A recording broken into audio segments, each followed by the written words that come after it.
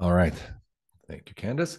That is amazing. All right. My name is Steve Giguere. Welcome to Navigating the Application Security Landscape. Uh, and I was pretty excited to be able to do this one today um, for, well, reasons that will become obvious shortly. A quick intro to me. Uh, thanks for the the already existing intro. Um, I'm gonna I'm gonna I'm gonna change my title. I'm just gonna do that uh, and call myself the Cloud Security Navigator uh, for this one. I've been working at Prisma Cloud for going on two or three years. Boy, time flies. Uh, I've been writing code since the, the 80s, I got to say, uh, a long time. I was very, very small and um, C and Java and, and JavaScript and going beyond there. So I work for the product team. I work on our open source tools. I'll mention that a little later. Uh, my specializations are Kubernetes containers, AppSec, and supply chain security. So kind of a lot uh, to concentrate on. I am based in London, England, in spite of my accent. I've got two flags up there because I've got dual citizenship between Canada and the United Kingdom. And if you find yourself in London, uh, I co-organize the DevSecOps London Gathering meetup there. Big community of 3,000 security enthusiasts. And I also have a cloud native security um, show on Twitch and YouTube. So you can Google my name and find all sorts of wonderful things. But let's get started interesting beginning. So, um, a little bit of a quote. Uh, what's interesting about this is that what gets us into trouble is not what we don't know, it's what we know for sure that just ain't so. And when I say ain't, I always want to affect the twang, just ain't so. Um, Mark Twain. Now, what's interesting about this quote, uh, and you're probably thinking, what does this have to do with AppSec? Everything uh, is that it's actually, if you've probably seen it before, it sounds familiar. It's at the beginning of The Big Short, and it's also at the beginning of An Inconvenient Truth. Um, and what I found fun and AppSecky about it is, is what it's saying. And it's being attributed to Mark Twain, uh, or was it Mark Twain? Because it's also attributed to four other people. And if you if you do your homework on it, you find out that Mark Twain didn't really say it. He didn't really even say anything like it. It, it those other people said something more accurate, but Mark Twain's the most famous, so he's the one that they stick below it. And it's ironic because it is an example of itself. It's kind of meta. What we know for sure that just ain't so. What we know for sure that just ain't so is this quote is not Mark Twain. So it's an example of itself. I thought it was pretty funny. And by the way, I'm just going to throw this out there. All these uh, images that I'm using, these are all AI generated. If you're wondering, like, how did I find a an image of somebody putting on a Mark Twain mask? I asked AI and it did it. So cool. So this is where we're going to start and introduce the concept of a false positive. And if you're keen on application security, you're probably already rolling your eyes, going, "Ugh, yes, this is one of the biggest problems with an application security is is noise and false positives and how do we solve these? Well, we're going to come to that. But i would be remiss if i didn't start with the application because when we talk about application security and the landscape around it what is the landscape? Well what does securing it look like? Well what is the application?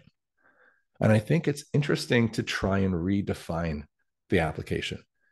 Now I mentioned that I've been writing code for uh, 1986 or so, probably, if I'd be precise.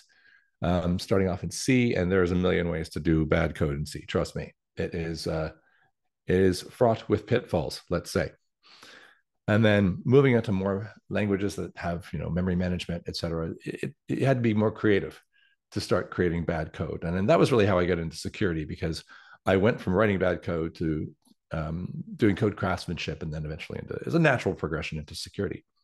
But what is the application? What are we talking about? Usually, as practitioners of application security, we think of the OWASP top 10. And the OWASP top 10 is a nice guide, certainly to what we're doing wrong. Um, this is, if you're unfamiliar with OWASP, and I, I would imagine some people might still be unfamiliar. It's the open, used to be web application, now it's worldwide application security project and it, it every three to four years it reboots what we think of as the worst possible thing. It used to be SQL injection was at the top, and now it's access control and misconfigurations and um, data integrity, and, and it's the list is always organic and changing. But it does help us define if we look at it what are we considering to be the application? Well, if it's saying outdated components, okay, that implies dependencies. That's not just the code I write. If I'm talking about misconfigurations of the cloud itself, oh, okay, so is, is the cloud itself part of my application? So it really expands your mind as to where does where does the application begin and end? And this is what I'm hoping to do today is actually start by defining the application and the landscape. Because if we don't know what we're talking about, how can we possibly secure it? Now, let me muddy the waters even more. In addition to the OWASP top 10, we have in application security the CWEs, the common weakness enumeration. Um, and these are also what we look for in terms of application security. If we're looking at our own code, we might scan it with a tool, and it often comes back with CWE numbers that are proof that there are recorded weaknesses and we are executing or we have created code that falls into the trap of certain weaknesses. They are becoming more prevalent, and this is directly from the, the website, more prevalent in vulnerability exposure conversations. Because I think of the OWASP top 10 as styles of vulnerabilities, whereas CWEs tend to be closer to the root causes. They are the programmatic missteps that can become the OWASP top 10. But on closer analysis, I, I find the CWE list pretty fascinating in how it is created because we had a 2021 top 10 and we have a 2023 top 25 list for the CWEs. So let's take a quick look at the top 11. Yes, only the top 11. And you can see just for reference, I have the OWASP top 10 down there on the side. So you can see what it is with broken access control and secure design. They're all there. And we look at number one. Number one, top of the list. Is it broken access control? No, it's not. It's out of bounds write. A good old C programming classic that can blow up the whole program. Okay, so we're see we're still making those problems. Now, if you consider CWEs aren't by default connected to security, they just kind of are very often, and the conversations around CWEs do tend to trend towards security. So this is a problem uh, to do with our application, typically to do with our own code. Let's just quickly pop down. I'm not going to go over every single one of them, but just expose some of them. And you can see improper neutralization of inputs. Okay. That can be injection, for example, or that can lead to remote code execution. Use after free classics. Uh, the the uh, sister to the out of bounds write, the out of bounds read. Um, and we'll work our way down to number 10. Uh, what I do find amazing is that CWE 352 cross-site request forgery, which used to be in the OWASP top 10, has fallen completely off, mainly because most programmatic frameworks protect you automatically against it. But it's interesting that it's still present in the top 10 of the CWEs. So there's a bit of a map. But the way I found very curious was this number 11 missing authentication, which maps directly to number one. So number 11 maps to number one. We had to go all the way to 11 before we got to the number one issue on the OWASP top 10. And what's even more amazing and is that it's number 862. So that means we went through documenting 861 programmatic missteps or weaknesses before we got to 862, which is now the number one problem with security and applications. Hmm, interesting. Now, if you're curious and you're thinking, wow, CWEs, how many are there? A lot. Um, upwards almost 1,500, I think, right now is what we're at. And if you think about that and you wonder why application security has a tendency to be a little bit confusing and noisy, well, that's why. Because if there's 1500 ways I can write bad code, and of each one of these ways, there's probably five to 10 different ways that you can create a CWE 862, then it's no surprise that when things like static analysis tools are looking at our application, that they make a lot of noise. And that is probably the first big problem with classic application security that we're going to start talking a little bit more about. However, let's go back to what is the application. Now that we've analyzed some of the contributors to our mental definition, let's go and try to answer this a little bit more clearly. The application is the code I write. Okay, yes. This used to be all the application was in our minds. Back in the day when I was writing code, I'd say in the 90s when I wrote a lot of C code, um, we didn't have any dependencies, barely. Maybe there were some, maybe some drivers that came with um, integrations and with hardware, but the open source world just wasn't as huge. It wasn't what it is today.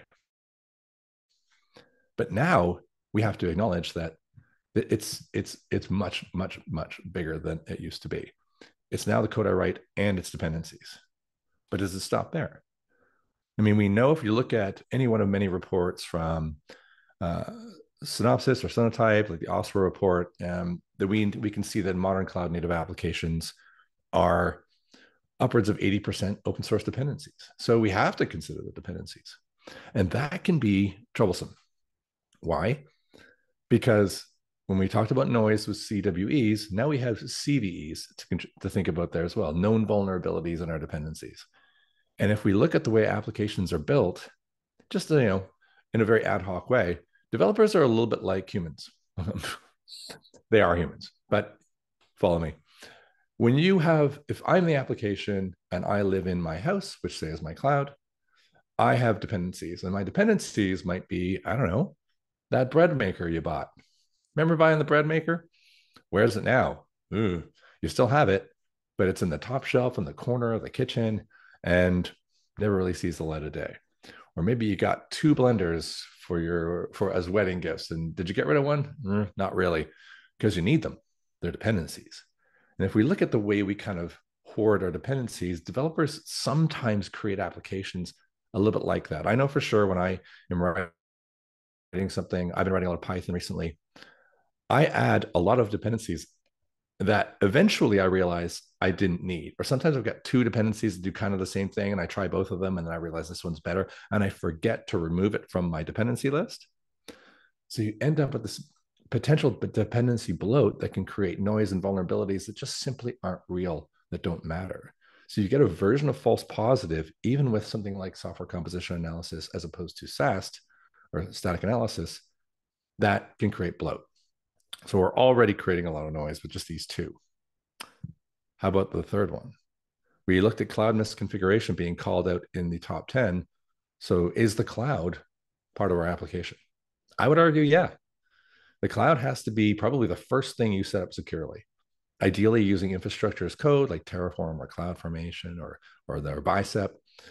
And you're doing a good job of making sure that you apply that code. And if it's code and it's in a repository, that sounds like an application to me. And the cloud has to be set up very specifically to run my application. Maybe it's running in Kubernetes. Maybe I have a Kubernetes manifest and I have Docker files, et cetera, as well. So is that my application? I would argue, yeah, it is. The definition of the application and thus the landscape we are attempting to secure is expanding.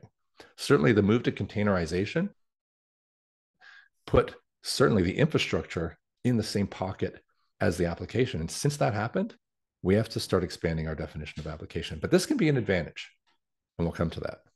Now, the final thing I, I think is the least considered part of the application, and that's the pipeline that builds it. And you might be thinking, what, Steve, come on, how's that my application? Well, it kind of is because it's actually one of the most vulnerable parts of our application's journey. Now, think of it this way your life is you, you've got your dependencies, the bread maker, and you've got your house, which is your cloud. You're securing all of it. But you don't just stay here. Like you've got something that takes you on a journey, perhaps your car. That's still part of you, and that's sort of part of the application. And as the software gets written, it's the same thing as saying securing data at rest and securing data in transit. The application is data.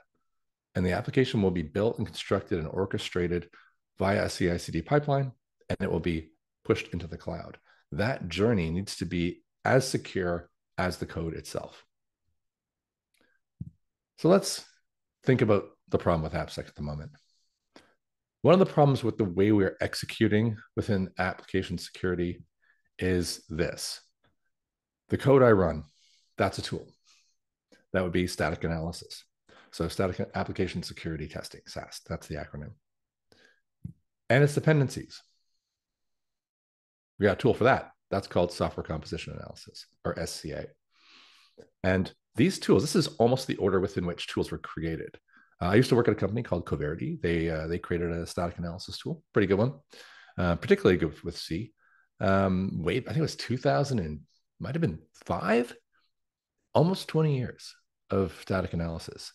So that's pretty old. SAST has been around a long time. Then SCA, there are lots of dedicated tools out there that do SCA, some free, some not, uh, to tell you what are the vulnerabilities in my dependencies. And there can be a lot. It can be pretty noisy. So that's a separate tool potentially as well. Maybe some of you are watching this going, yep, I have a SAST tool. I have my favorite SCA tool. Keep going. Okay. The cloud, it runs in. What are my tools for that? I've got cloud security posture management tool that looks at the configuration of my cloud to make sure I haven't done something silly like leave an S3 bucket unencrypted and exposed. And I've got CWPP, which is cloud workload protection. That's monitoring my Kubernetes and my containers, and it's looking at my serverless and it's monitoring all of those things that are running to make sure that there's no anomalous behavior. And maybe that I've got a admission controller that's stopping containers with vulnerabilities from running. I've got some of that. So I've got two more tools. Awesome. And of course, the pipeline that builds it. There isn't even really an acronym for that one yet. So now you got to figure out how do I secure the pipeline? Now, there are some open source tools you can use. I work on one of them. Checkov is an open source tool. and you can go check that out at checkov.io. Uh, the OpenSSF has a really open uh, software security foundation. I think that's what it is. Uh, OpenSSF has a tool as well you can get for free that will check your pipeline and make sure that you've got things like multi-factor authentication turned on and branch protection and all that. So there are options you can do in open source, but there's not really a acronym per se for that, is there? Which is interesting, but it also implies you do need something in the tool realm for the pipeline that builds it. Now, why am I why am I going on about the pipeline? Well, very good reason the pipeline that builds it is the emerging threat. Let's take a look back at you know the past few years. Circle CI 2023, a malware attack on Circle CI, engineer's laptop exposes secrets. Interesting. Let's look at CodeCov, a supply chain attack that went undetected for months. Look at the NPM, a ubiquitous COA NPM library was hijacked. And then, of course, SolarWinds, one of the most sophisticated hacks of all time back in 2020. These are supply chain and pipeline attacks. Like this is not the application itself. This is the journey that's being affected. And that's really important that we start considering that as part of our application and part of our security strategy. Now, as a reaction to this, if you're unfamiliar, I did talk about the OWASP app, you know, OWASP top 10, the normal one. There are many top 10s on OWASP. Uh, some would say too many. But here's another one the top 10 CI CD security risks. And some of these terms might seem a bit foreign because they're not ones that we're used to, po- poison pipeline execution being one. Is there some way, and there is ways to do this in most um, most CI pipelines, that I can submit code that can run simply by creating a pull request. An example of this within, say, GitHub is if you submit a workflow file as part of a check-in uh, under very, very weak credential checking, that workflow will actually run before it gets approved as a PR. Very weird, right? There's a whole other talk I've got about how you can abuse that. But these are real threats and they're really interesting. So if you've got, I'm not going to go through all these, but just making you aware if you've not heard of the top 10 CI/CD security risks, go give it a Google, go to the OWASP website and check it out. There's some really important application security learning to be had here. And this is directly directly as a reaction to some of the hacks that have happened in the past uh, few years. All right, getting back on track. If we recall, we got SAST, SCA, CSPM, CWPP, and let's just that's just for lack of terms, call it a CI/CD uh, platform security tool. Maybe we have five different tools all attempting to do application security for us. Now, that sounds like a solution, but actually, I think it's kind of part of the problem. And I kind of, and I blame myself. Uh, I've been, I've worked through the past eight years uh, on different styles of these tools. So I've worked with all of them and I've been a contributor to almost all of them. And it wasn't until recently, in the past few years, I started to realize that the act of creating individual tools for individual pieces of our application security problem like a SAST tool to scan my code, an SCA tool to look at dependencies. And doing them independently has meant that when I visited organizations and I started to talk to them about their security strategy, I found a rather large problem. And that is most organizations, as a result of tooling being independent, have siloed the security teams to map to that tooling expertise or the technological geographies that within which they exist. What do I mean by that? Well, SAST tends to exist within the developer community because it's analyzing their code. CSPM is within the cloud community. And the AppSec team and the CloudSec team is almost like InfoSec and AppSec. They aren't the same people. You go into a room. I have been in a room where security was brought in to speak to me, and the AppSec and the InfoSec teams shook hands and introduced themselves. This was the first time they'd met. And yet, I would argue that this is all the application. The application, the securing the application should not exist in silo. And we have a bit of a problem that we need to overcome, but I'm pointing that out. It's almost like a reverse Conway's law.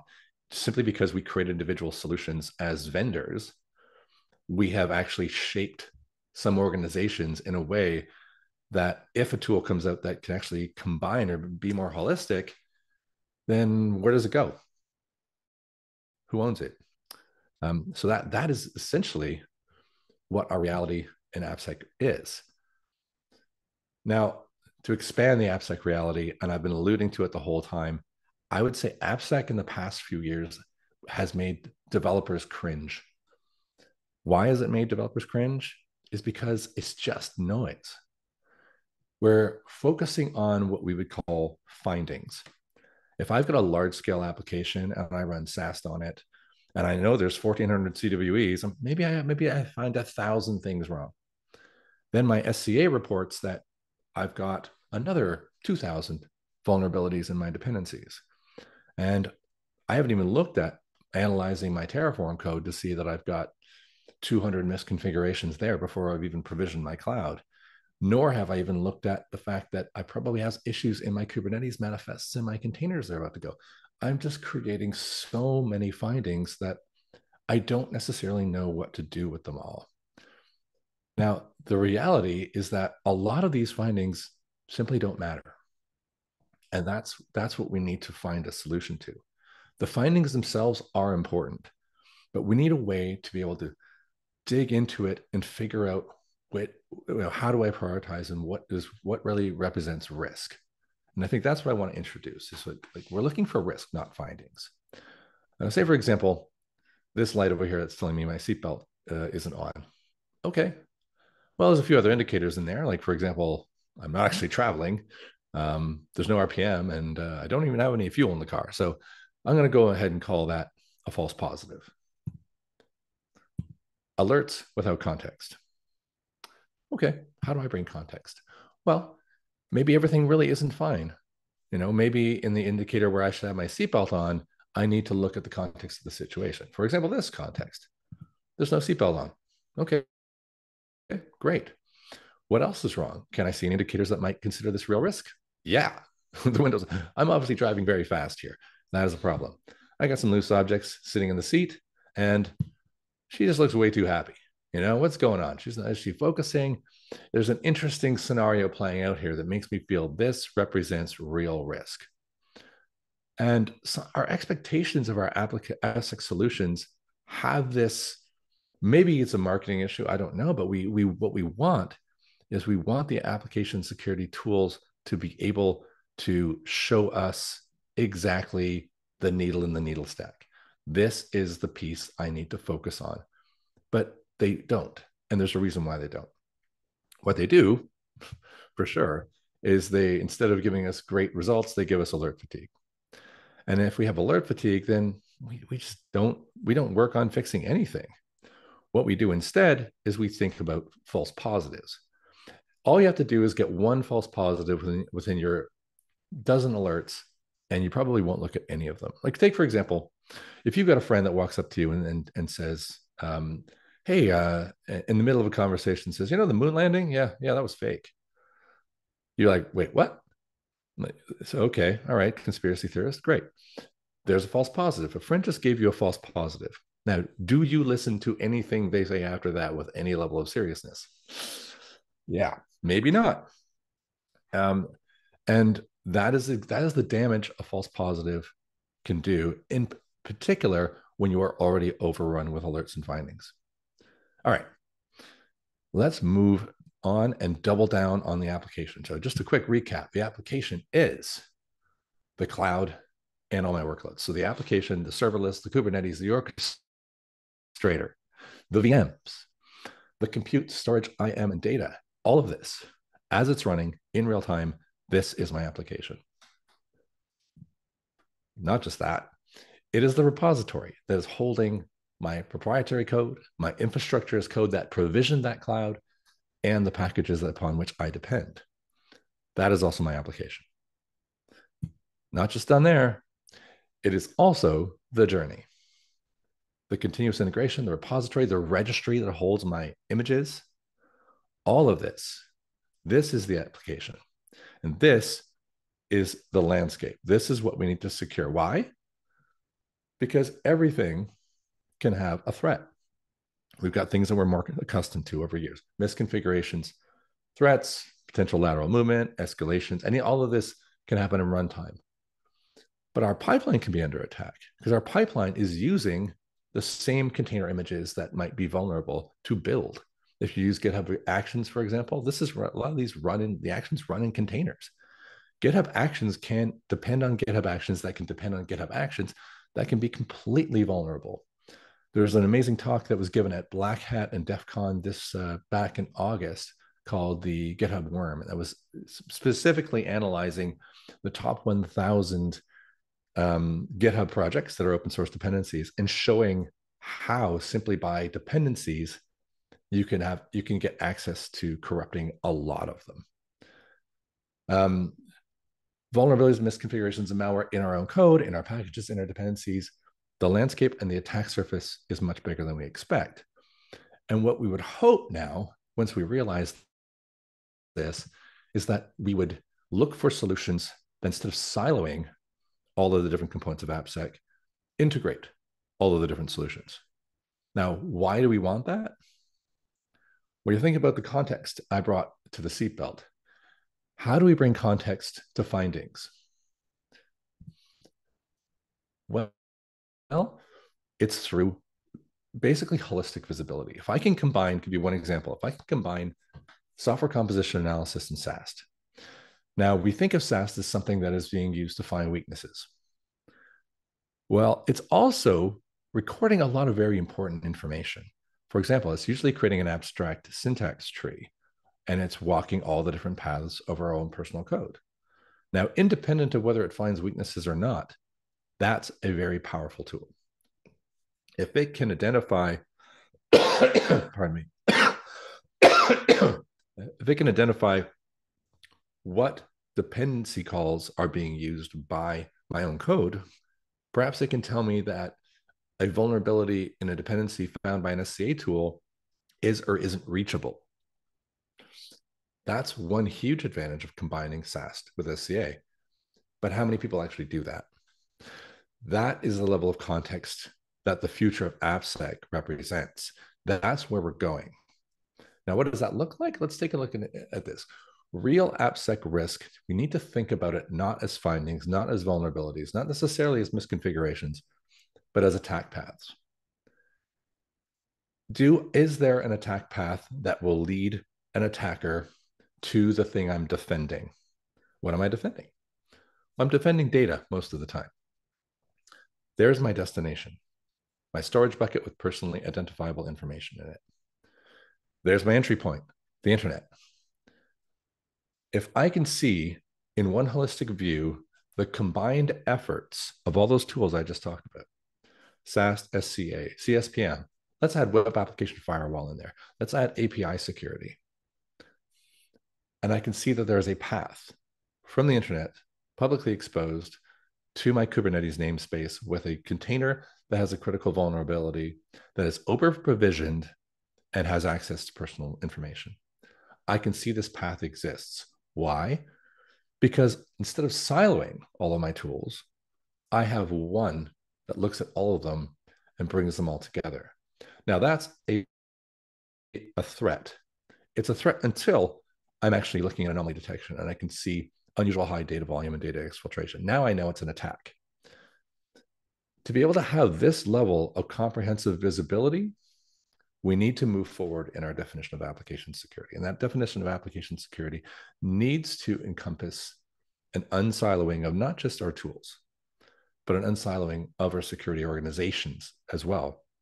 We need more conversation. We need to look at maybe what we have already in terms of tools, be it open source or commercial, and look how we can bring information together. Look at how we can do the data analysis to normalize and rationalize the findings into something that looks more like this, something that shows us that we have real, tangible threats.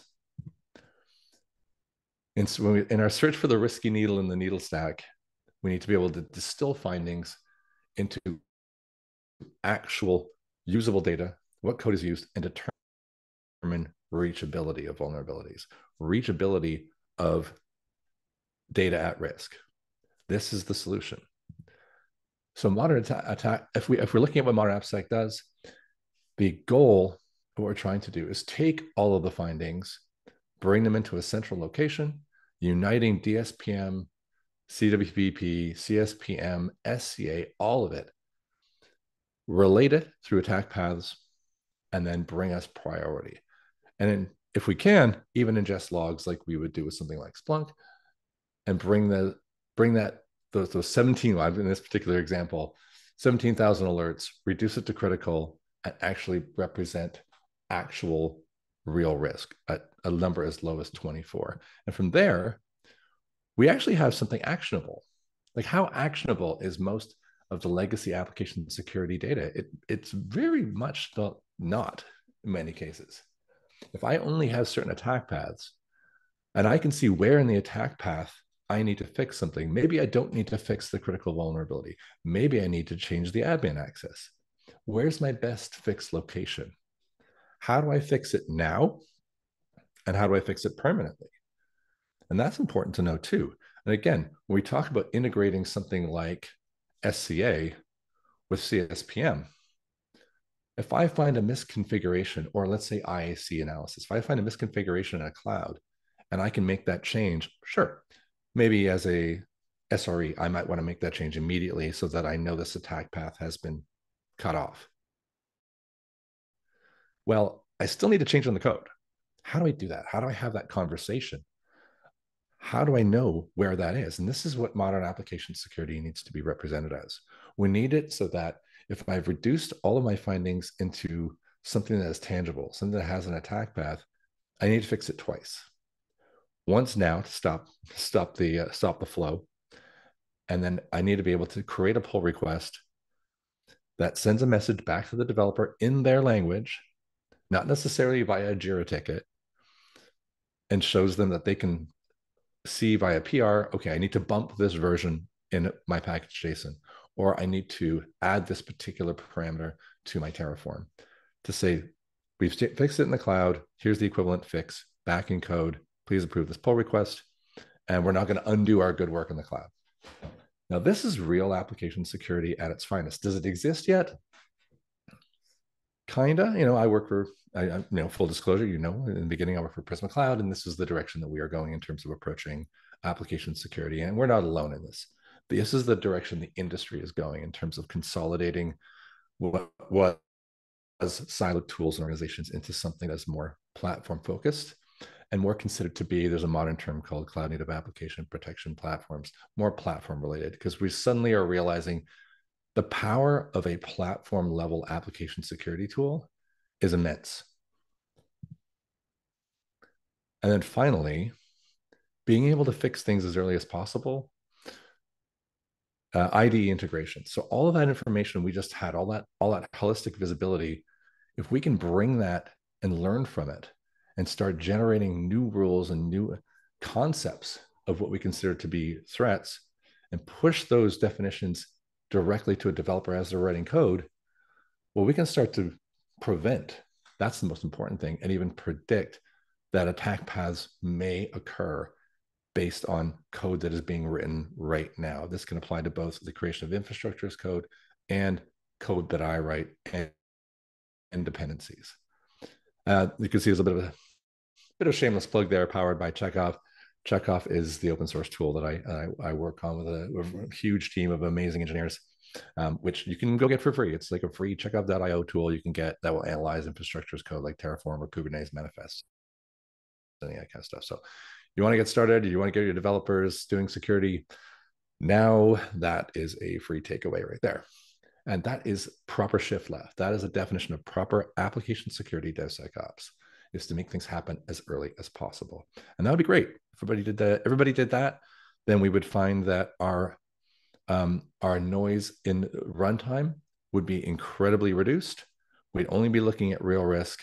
We'd have a much quieter world and we'd sleep at night a lot better because application security was finally telling us that only this one needle was important.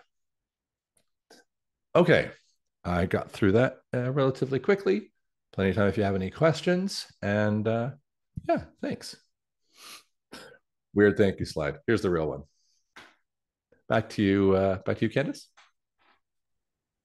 Yeah, if anybody has any questions, feel free to drop it in the Q&A box. We have some time um, that Stephen can answer any of your questions. If we want to give it like a minute and see if anyone has anything. Sure.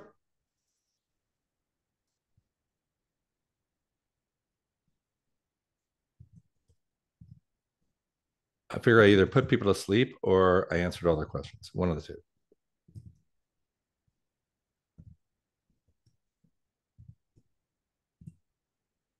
All right, looks like we got a few questions in.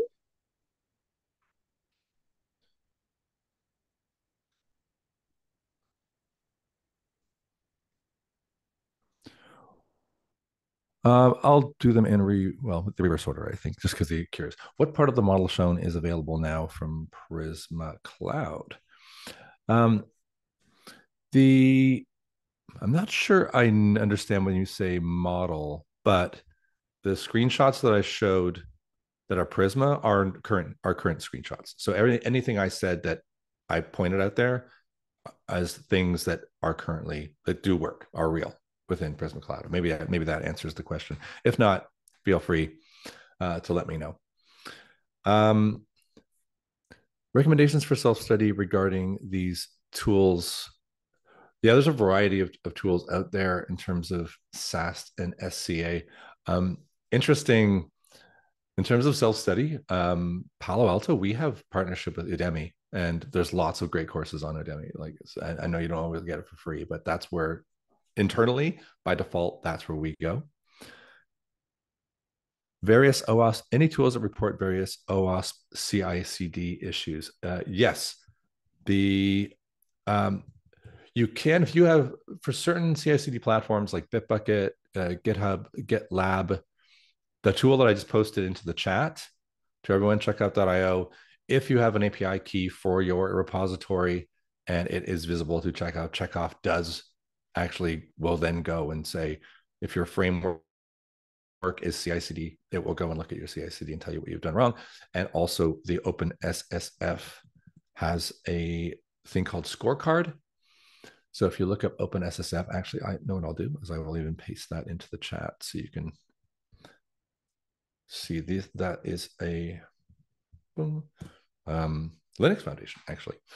So go check out OpenSSF and they have some tools that also check the OWASP CI/CD issues. So definitely go check that out. Um, and then there's one says, how different is AppSec from ASPM? That's a great question. Not that they all weren't great questions, but ASPM is another one of those hot um, terms at the moment, uh, which I find I, I'm uncertain whether it's marketing or real. Uh, ASPM stands for Application Security Posture Management. There's a lot of SPMs out there. There's DSPM, Data Security Posture Management. There's a lot of SPMs that are, I think I even heard KSPM, Kubernetes Security Posture Management once. And I was a little bit unsure, like, is that real? Um, but why not, right? Application security posture management at the moment, there's some players out there that are doing a great job of it. It is a thing, but it is monitoring the application running in the cloud very much like you monitor the cloud. So there it's looking at In some instances, it takes information it knows from the repository and it monitors the cloud almost in a gray box kind of way.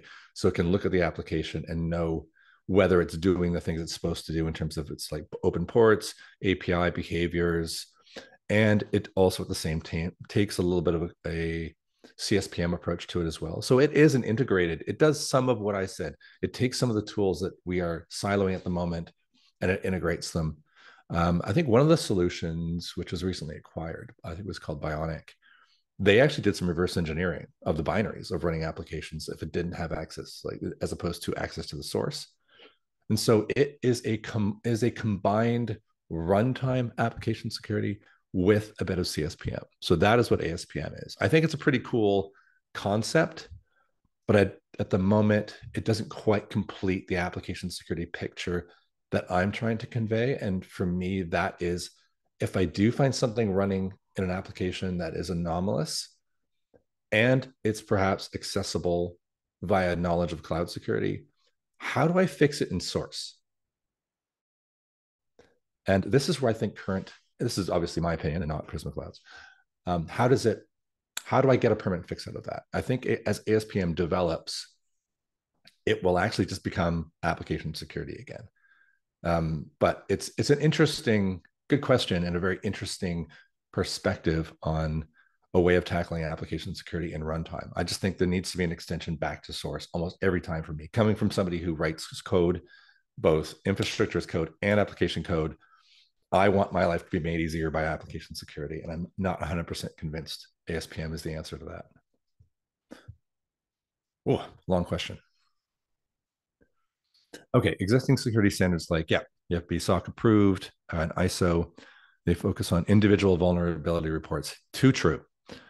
With the, with holistic display, you're playing with a shift towards those standards as well. I would hope we would see a shift in those standards. Um, that's a very good question, Joshua. Um, the industry tends to tends to lag. You probably already know that, though.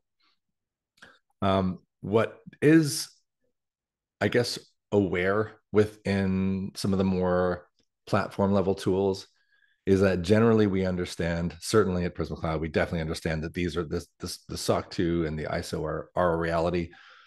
But, but having the overarching full visibility of everything within cloud application, everything, it becomes incredibly easier to generate the reports that that are required for those kind of um, certifications.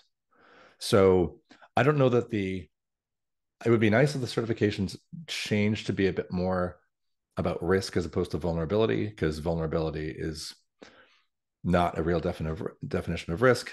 Maybe over time, because a lot of the people who create those requirements are people who work in the industry, um, quite often for vendors. So hopefully we can push towards that. But in the meantime, all of the different tools that even whether it be Prisma Cloud or any of the SPM solutions, we are very much aware of what we need to create, and having larger visibility makes that easier for not just us, but for everyone. Let's see, did I miss any? Good questions.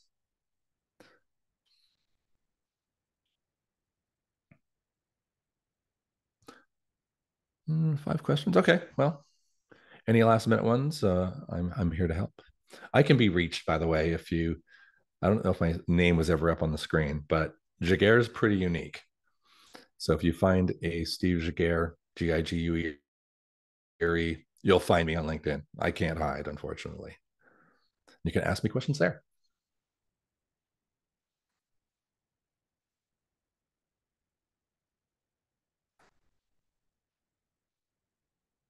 Any reason for not covering SBOM? Aha ah, ah, because I hear the word SBOM 400 times a day, and maybe I was rebelling and decided not to say SBOM. Um, SBOM is almost SBOM is almost there. I think. I know there's a there's a bit of a mandate, particularly in North America, for SBOM generation. I think that's all a great, very, very good step forward. Software bill of materials for those of you who are like SBOM, what's he talking about?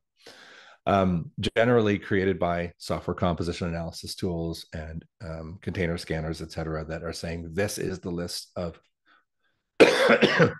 all my dependencies. This is here they are. So that full disclosure, these are the dependencies that are in the package that I am shipping to you. It's a great ingredients list. Same as when you buy food, you got all your ingredients there, you know what's in it, you know the calories, you know everything, right? This is an amazing step forward in software to have software bills of materials. However, I don't 100% think that SBOMs solve much. Um, because again, these are just packages. Packages have vulnerabilities. Vulnerabilities aren't necessarily threatening unless there's some risk there. There are there's an additional um, addition to SBOMs which is VEX, that is looking at bringing context to SBOMs. And I think in combination, once that industry matures a little bit, then that actually will bring more relevance at the moment to SBOMs. But right now, SBOMs almost feel like some certain certain compliance directives and that it's a good thing to have, but we're not necessarily leveraging it. And in particular, if you actually created a real SBOM, in many cases, it doesn't go deep enough. Like if you look at the potential SBOM for Kubernetes itself, um, if you went through all transitive dependencies and put that on an SBOM, it is unbelievably, unreadably huge. So we need to do, we need to create SBOMs. I think it's a step in the right direction, but right now it's a little bit of theater at the moment. So that's not why I didn't mention it, but that's my comment on it.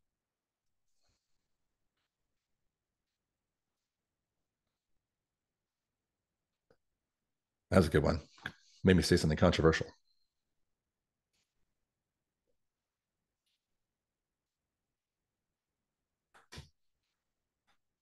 Okay, maybe we're done. Oh, look at that. Well, oh, thanks, Rakesh.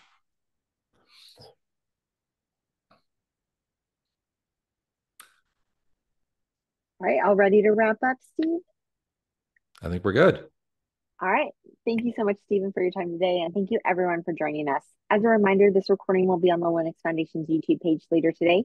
We hope you join us for future webinars. Have a wonderful day.